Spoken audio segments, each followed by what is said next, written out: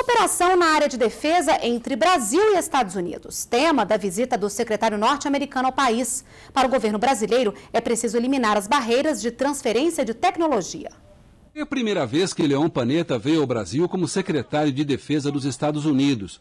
Eles deram sequência ao diálogo de cooperação em defesa iniciado no último encontro da presidenta Dilma Rousseff com o presidente Barack Obama em Washington. Para o ministro Celso Amorim, além da ampliação do comércio de equipamentos de defesa entre Brasil e Estados Unidos, é indispensável também que os dois países intensifiquem a transferência de tecnologias do setor. Nós temos interesse sempre que possível, em atrair para a produção no Brasil e para a transferência de tecnologia no Brasil. Dentro dessa filosofia, não é só compra e venda, é realmente a capacidade de criar parcerias. Panetta destacou a liderança do Brasil na América Latina e no mundo e a cultura de paz do país. O secretário norte-americano considera que a expansão do comércio na área de defesa entre Brasil e Estados Unidos vai ampliar oportunidades de emprego no setor.